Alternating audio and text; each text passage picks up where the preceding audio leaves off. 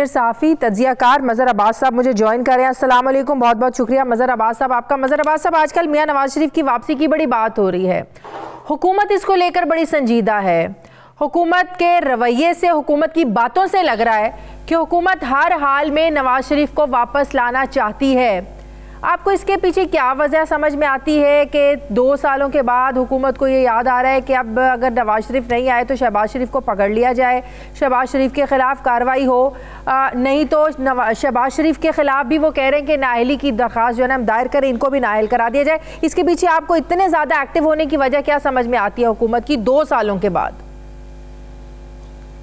शुक्रिया अजिया देखिए बहुत सी डेवलपमेंट्स हो रही हैं जितनी कॉन्फिडेंट गवर्नमेंट आज से साल पहले नज़र आ रही थी उतनी कॉन्फिडेंट नज़र नहीं आती हम्म। शेकी है मामला शेकी हैं बहुत सी गलतियाँ हैं वो मल्टीप्लाई होती जा रही हैं तो गवर्नमेंट शेकी तो है हम्म। उन्हें उन्हें ये लग रहा है कि ये कहीं ना यू नो कहीं ना कहीं चीज़ें गड़बड़ हैं और इसी वजह से किसी और ने नहीं खुद वज़ीर अजम ने तीन माह को अहम कहा हम्म। जब उन्होंने तीन माह को अहम कहा तो इसका मतलब ये है कि उन्होंने ये नहीं कहा कि मीशत के हवाले से अहम है किसी और चीज़ के हवाले से अहम है उन्होंने सिर्फ़ वन लाइनर दिया कि जी तीन महीने अहम हैं हम्म। अब उन्हें ये ये लग रहा है कि अब जो अगर मार्च होता है सत्ताईस फरवरी को हो या तेईस मार्च को हो इसके पीछे कहीं ना कहीं कुछ गड़बड़ हो रही है। हम्म। और प्राइम मिनिस्टर को इस तरह की इंफॉर्मेशन भी हैं वो कहते तो ज़ाहिर है वो यही कहना चाहिए उन्हें कि हर चीज़ बेहतर है सिविल मिलिट्री रिलेशनशिप भी बेहतर है। वो ये भी कह रहे हैं कि अपोजिशन के पास जो है कोई ख़ास चीज़ नहीं है। लेकिन जो चीज़ जो चीज़ बाय डिफ़ॉल्ट अपोजिशन के के परले में जा रही है वो महँगाई है। और महँगाई इनसे काबू नहीं हो रही है वो उसकी तोजीहत दी जाती हैं तो आपको ये लगता है कि असल इशू से लोगों की तवज्जो को डाइवर्ट करने के लिए अब ये इशू उठा दिया गया नवाज़ शरीफ की वापसी का देखिए उनको परेशानी ये है कि मुझे आ, मुझे टू बी वेरी ऑनेस्ट मुझे नहीं लगता कि हुकूमत चाहती है नवाज़ शरीफ वापस आए।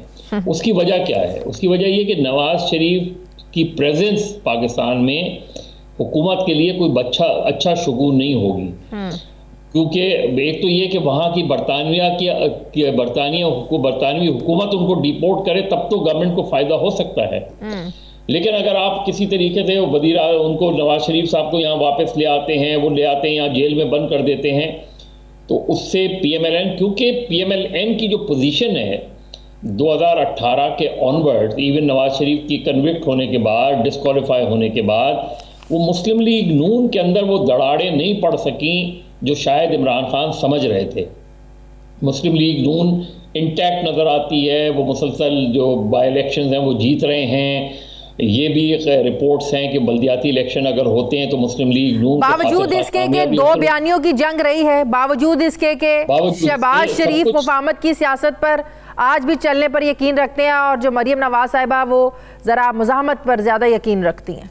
सब चीज़ों के बावजूद at the end of the day P M L N के अंदर Nawaz Sharif is the final authority तो ये जो, ये इस चीज़ को कहीं वो ब्रेक नहीं लग, इसको कहीं ब्रेक नहीं कर सकी। गवर्नमेंट हो या दूसरे हो, वो इसे ब्रेक नहीं कर सके। आपने चलाया मीडिया में भी इस चीज़ का डिस्कशन हुआ कॉलम्स भी लिखे गए कि जी दो बयानिए हैं, एक शहबाज शरीफ का और एक शदीद अख्तलाफात है मुस्लिम लीग नून के। लेकिन हमें at the end of the day Muslim League Noon intact नज़र आती है। इलेक्शन में वो गए बाई इलेक्शन में गए तो एक पार्टी के तौर पे गए। अंदर ज़रूर होंगे चीज़ें होंगी शिद्दत इख्तलाफात भी होंगे सब कुछ। तो हुकूमत वाकई में ये भी चाहती है कि शहबाज शरीफ को भी जो है ना वो नाहल करवा दिया जाए। अपनी आप इनकी तीन सालों की कारकर्दगी देख लें कोई ज़्यादा मुतासर को नहीं है इतमान बख्श तसली बख्श नहीं है। तो इसलिए शहबाज शरीफ को भी रास्ते से हटाना चाहती है। उनका शादिया उनका असल थ्रेट ही शहबाज शरीफ हम्म, है। हम्म, हम्म। इसलिए कि शहबाज क्योंकि नवाज़ शरीफ के बारे में तो इस्टेब्लिशमेंट की राय बड़ी मुख्तलिफ़ है। लेकिन शहबाज शरीफ अगर लेकिन उन्हें वो ये है कि अगर नवाज़ शरीफ शहबाज शरीफ को नॉमिनेट करते हैं हम्म। तो ज़ाहिर है शहबाज शरीफ के पीछे फिर नवाज़ शरीफ की पूरी सपोर्ट हासिल होगी। बिल्कुल। और ये जो ये जो वो है वो गवर्नमेंट के लिए अच्छा शगून नहीं है। वो चाहते हैं शहबाज शरीफ या तो जेल हो या सबसे बड़ी बात ये कि वो चाहते हैं शहबाज शरीफ डिसक्वालीफाई हों कन्विक्ट हो जाएँ। लेकिन मुझे इस अब जो टाइम वो है वो ऐसा नहीं लग रहा मुझे। और यही हुकूमत की परेशानी है, क्योंकि मुस्लिम लीग नून अगर इस अंदाज में इलेक्शन में जाती है, इस अंदाज में बल्दियाती इलेक्शन में जाती है कि नवाज़ शरीफ भी बाहर हैं, मरियम नवाज़ भी एक्टिव हैं, शहबाज शरीफ भी एक्टिव हैं तो फिर पीटीआई के लिए प्रॉब्लम्स हैं। तो इसका मतलब है इमरान खान साहब ने जो बात की थी कि राह हमवार की जा रही है नवाज़ शरीफ को वापस लाने की, उस बात में वज़न था। ऑल दो डी जी ने तमाम बातों की तरदीद की, लेकिन हवा में तो बात नहीं की थी। इमरान खान साहब ने कहीं ना कहीं इसके पीछे कोई लॉजिक कोई मालूम तो थी? देखिए डीजीआईएसपीआर ने तरदीद किस चीज़ की की थी? कि नवाज़ शरीफ से कोई डील नहीं हुई हम्म। नवाज़ शरीफ से कोई डील नहीं हुई है।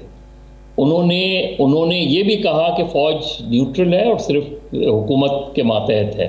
हम्म। अब ये जो न्यूट्रल चीज़ है यही बाज बाज गवर्नमेंट्स को परेशान करती है। जब फौज न्यूट्रल होती है न्यूट्रलिटी फौज की पॉलिटिकल सेंस में कह रहे हैं कि जब पॉलिटिकल सेंस में न्यूट्रलिटी होती है तो लोगों को ये लगता है कि इसका मतलब ये है कि हुकूमत के से सियासी तौर पे हाथ पीछे कर लिए गए कि हाँ। जाएँ जी आप अपनी परफॉर्मेंस पे खुद ही जवाब दें।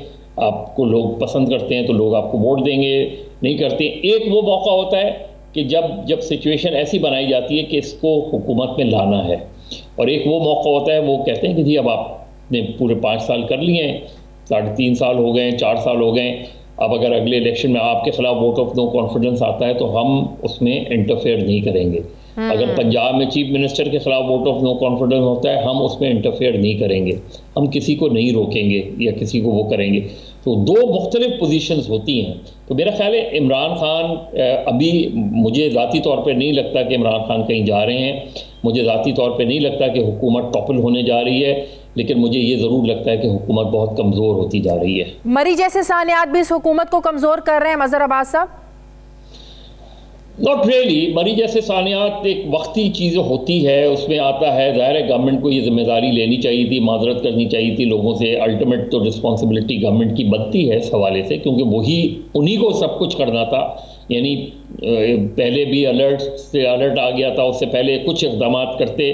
लेकिन अगर फ़र्ज़ करें नहीं भी हुए थे तो इमरान खान का ट्वीट ये होना चाहिए था कि मैं as a chief executive of Pakistan मैं आपसे माजरत करता हूँ माफ़ी माँगता हूँ हम्म, हम्म। और आपको यकीन दिलाता हूँ कि गवर्नमेंट ऐसे इकदाम करेगी कि आइंदा इस तरह के वाक़ात नहीं होते। हैं ये एक रद्दमल होता है ये नहीं होता लेकिन हम तो कहीं ना कहीं खुश हो रहे थे हुकूमत तो खुश हो रही थी कि जो टूरिज़्म है वो बढ़ रही है। बताया जा रहा था कि हाँ आपने फवाद चौधरी साहब का वो ट्वीट देखा हाँ, होगा तो ये लोग तो क्रेडिट हाँ, ले रहे थे। हाँ नहीं वही वही मैं कह रहा हूँ कि उसके बाद चले एक हो गया ना हादसा। ज़ाहिर है गवर्नमेंट ने खुद तो लोग इस यानी हम लॉजिकली अगर हम देखें तो एक तूफ़ान आया और उसमें लोग मर गए तो आपकी बद इंतजामी तो स्टैब्लिश हो गई। तो उसका तरीका क्या है? उसका इमीडिएट तरीका ये कि गम गुस्सा किस वजह से कम किया जाता है? इसलिए कि आप आप फिर अनपॉपुलर वैसे ही ऑलरेडी महँगाई से लोग परेशान हैं। अब इस तरह के वाकत में भी आप ये इस तरह के ट्वीट्स करते रहें कि जी देखें पिछली गवर्नमेंट हर चीज़ में पिछली गवर्नमेंट को वो नहीं करते हम्म, हम्म, हम्म। आपको सीधी सीधी सीधी सीधी बनती थी कि आई एम सॉरी